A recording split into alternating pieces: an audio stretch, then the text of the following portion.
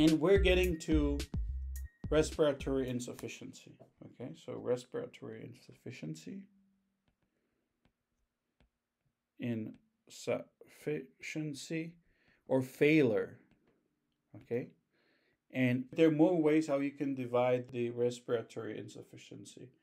I'll tell you the most used two types of division of this.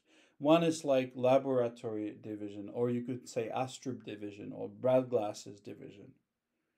And the other one is from the time perspective. Okay. So, first one, if we want to do the lab division, which is very good for you, you divide the respiratory insufficiency into two parts. One is type 1, and the other is type 2 or it has many synonyms. This one is partial, partial, and this one is global is insufficiency. Or another synonym, which you should remember, is hypoxemic. So it's hypoxemic insufficiency.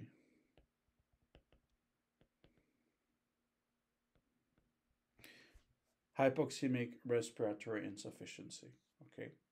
And over here, you care only about the partial pressure of oxygen. So the partial pressure of oxygen, arterial, of course, it's decreased.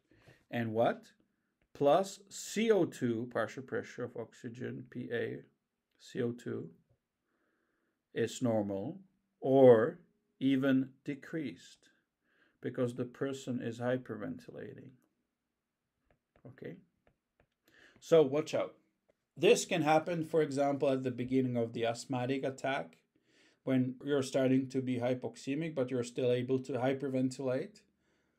So you're going to breathe out CO2, but you're going to have hypoxemia, okay? So this is typical, for example, during asthmatic attack. But of course, as you will get more tired, as the, again, diaphragm and other muscles the let's say helper muscles the associated muscles will get tired fatigue. You're going to start hypoventilate so then it turns into if it if the attack uh, like continues and continues you're going to have then the global one which we're going to talk in a sec that the CO2 will go up and you're going to have respiratory acidosis. But in this case over here you can have a normal or you can even have a respiratory alkalosis okay?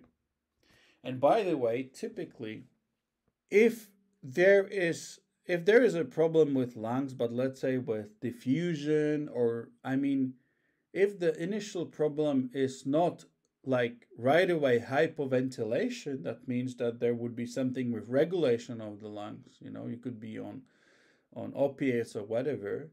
So if the vi- ventilation is okay but there's something with diffusion for example typically like i mean in pneumonia or whatever typically the diseases start with type 1 respiratory insufficiency and as the lungs get tired as the disease progresses you turn into type 2 okay? So there is this evolution of the problem.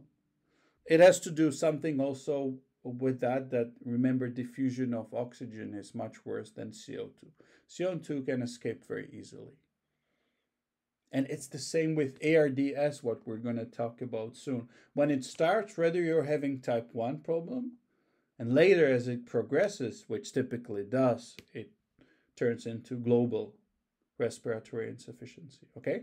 Yeah? So, and what's the global one? Well, obviously, I told you already. So, it's a combination, you call it hypoxemic plus hypoxemic hypercapnic. So, over here, you have respiratory acidosis. So you have decreased partial pressure of O2 plus increased partial pressure of CO2. So respiratory alkalosis here could be could be normal. You don't have to have respiratory, but the the only important thing is the decreased partial pressure of O2. That's obvious. That's the main thing. Once the PaO2 is combined with increased CO2, you're having global respiratory insufficiency or type 2. Okay? So this is the, let's say, lab or Astrup division or whatever you want to call it. And then we have a, we could talk about the, the time perspective. And of course, over here, it means how fast it happens. So you have acute respiratory insufficiency, or you have chronic. And here's a comment. The acute, it's not like with heart, like I mean acute MI, like immediately in, in first tens of minutes or hours. Acute for lungs means days, means like till a week. Okay. And this is exactly the acute respiratory distress syndrome we're going to talk about. It's not happen. It can happen like very soon, like in few hours, but typically it takes few days to you know full fully develop. Okay, so with lungs, uh, uh, these acute and chronic terms they're like uh, in a different range. Uh, range. It's more like days. It's developing. It's getting worse and worse as the pneumonia gets worse and worse. But if the insufficiency, if the distress happens within few first days, you call it acute problem. Okay? Yeah? So, and what would you put here? Well, you can have something very instant, like what be the acute respiratory insufficiency? What's the disease? Well, it's the asthmatic attack, of course. So something can happen really fast, like asthmatic attack. Okay? Or over here, definitely put ARDS, but over here, think of two, three, four days. Okay.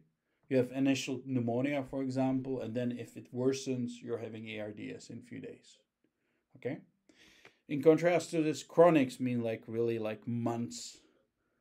So over here, what you're gonna put definitely COPD, of course.